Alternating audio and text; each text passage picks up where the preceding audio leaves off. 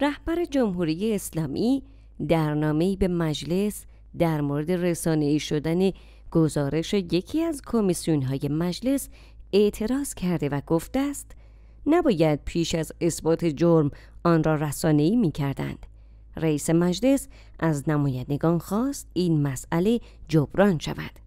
علی خامنه ای رهبر جمهوری اسلامی در حاشیه نامی که در آن به رسانه‌ای شدن گزارش یکی از کمیسیون‌های مجلس پیش از بررسی و صدور حکم در دادگاه صالحه اعتراض شده گفته است این شکایت بجاست اما نباید پیش از اثبات جرم آن را رسانه‌ای می کردند. او از مجلس خواسته است دنبال کنید تا به نحوی جبران شود. محمد باقر غالیباف رئیس مجلس در نطق پیش از دستور خود در آغاز جلسه علنی روز چهارشنبه مجلس شورای اسلامی در پی دریافت این نامه گفت به نظر می رسد این تذکر که حاکی از توجه به حق و ناس است نه فقط برای همکاران این جانب در مجلس بلکه برای همه صاحبان رسانه ها و تریبون ها مخصوصا تریبون های رسمی و همه فعالان اجتماعی و رسانه ای می تواند فصل الخطاب باشد. او افزود این نامه رهبر جمهوری اسلامی نشان می دهد تا زمانی که جرمی به اثبات نرسیده است ذکر اسامی افراد مجاز نیست. در جلسه علنی روز سهشنبه 11 آبان مجلس شورای اسلامی 167 نمایند از میان 235 نماینده حاضر با ارسال گزارش کمیسیون بهداشت.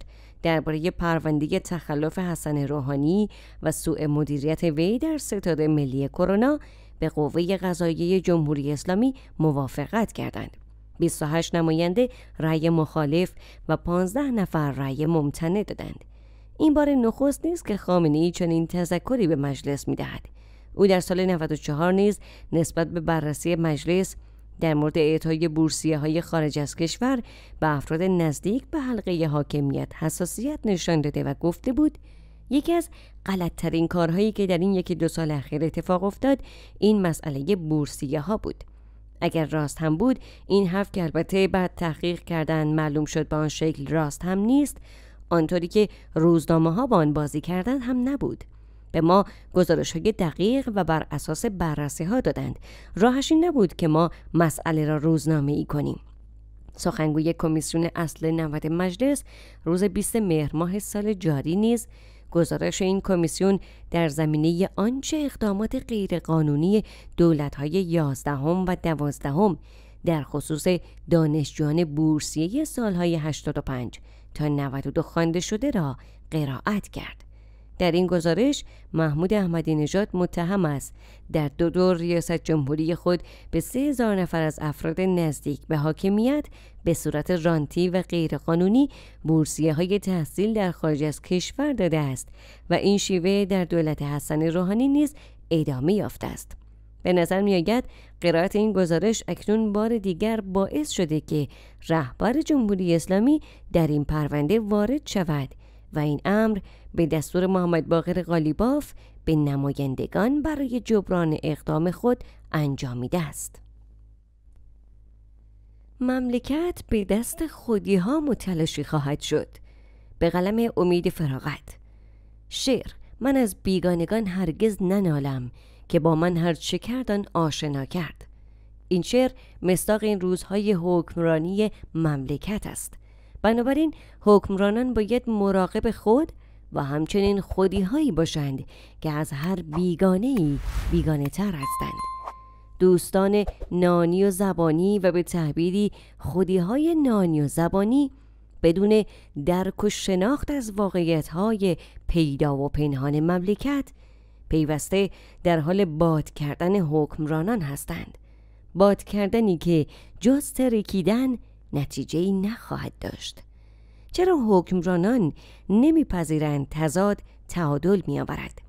چرا حکمرانان نمیپذیرند خودی های چاپلوس متملق رجزخان ریاکار و یکم دشمنان واقعی خودتان و دوم دشمنان واقعی جغرافیای ایران هستند؟ خودی ها در هر حکومتی تحلیل و تفسیر درستی ندارند. بر همین اساس با خطای محاسباتشان باعث دگرگونی های حکومتی شدند. داده های تاریخی پر از خطای محاسباتی حکمرانان و اطرافیانشان است. پس در چنین فضایی باید شعار زنده باد مخالف من زمزمه همیشگی حکمرانان باشد. چرا که این مخالفان هستند که تحلیل، تفسیر و تصویر درستی از واقعیت های مملکت را منعکس می کنند. متاسفانه در شرایط امروز مملکت برخی حکمرانان تاثیرگذار در دام های ایران و جهان نشناس گرفتار شده و با رجزخانی های اشتباه و همچنین دادن مشاوره های غلط تصمیم سازی و تصمیم گیری های حکمرانان را برخلاف زائقه اکثریت ملت و همچنین واقعیت گرایان معقول کردند. حکمرانان باید بپذیرند اگر نفوذی هم باشند در فضای چنین خودیهایی معنی و مفهوم دارد. اگر هم دخالتی از سمت و سوی شرق و غرب باشد از زبان چنین خودیهایی بیان می شود. بنابراین محاصره در خودیهای جامعه نشناس و متملق و چاپلوس از محاصره دشمنان مشخص خطرناکتر است. بنابراین کسانی که خود را دایه مهربانتر از مادر به حساب میآورند قابل شک و تردید هستند. مرگ بر گویان افراطی قابل شک و تردید هستند. کسانی که برخلاف واقعیت ها رجزخان و شعار دهنده غیر معقول می باشند قابل شک و تردید هستند. کسانی که هر منتقد دلسوزی را انگ غرب پرستی و لیبرال می‌زنند قابل شک و تردید هستند. همه کسانی که کاسه داغتر از آش هستند قابل شک و تردید هستند. بنابراین دوستان نانی و زبانی و یا همان خودیهای مشکوک جامعه امروز ایران را به لبه پرتگاه آوردند. اگر حکمرانان هوشیار نباشند و از دام آنان خود را نرهانند خیلی زود دیر می شود و مملکت به دست خودیها متلاشی خواهد شد. پس این شعر مستاق کامل این بیانی است. من از بیگانگان هرگز ننالم که با من هرچه کرد آن آشنا کرد. دقیقا مستاق این روزهای حکمرانی مملکت است. دوستان شنونده به پایان این بخش خبری رسیدیم. تا بخش بعدی خدا نگهدار.